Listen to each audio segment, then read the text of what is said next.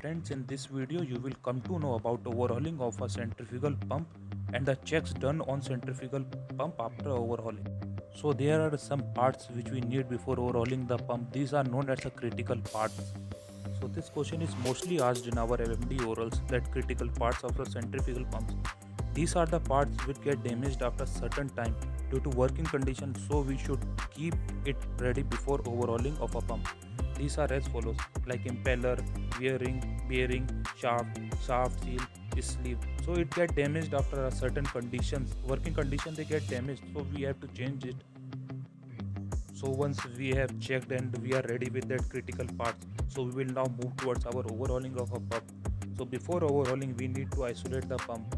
So for isolating the pump, we will put the breaker off, then shut the suction and discharge valve and we will check that the valves are holding or not. If valves are not holding you would have seen these blind flanges on your ship. So we'll blank the line till the pump overhaul will take place.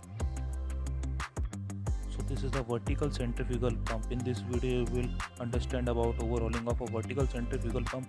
And DG e-learning has made a very wonderful video on this. So i will play it now. Remove the distance piece fitted between the pump and motor coupling after removing both motor and pump side coupling bolts and discs. Remove cooling connections to mechanical seal. Remove casing top cover bolts. Once casing cover bolts are removed, assembly is free to remove from place along with shaft, bearing housing, bearing, mechanical seal, impeller and impeller shaft with sleeve. On removing the pump assembly, slacken impeller lock nut and remove the impeller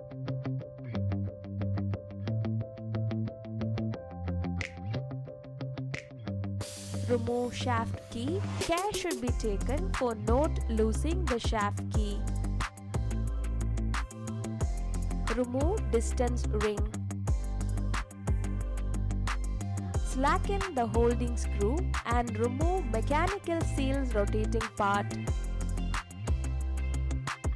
Slacken bearing housing bolts fitted on casing cover. Remove casing cover from the shaft. Remove shaft sleeve from shaft. Remove bearing housing cover. Remove bearing retaining circlip. Remove bearing housing along with bearing.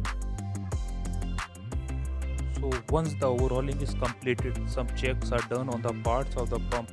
So I will tell you next about the checks done on the pump. So in MMD oral, there is one question asked check done after overhauling of centrifugal pump.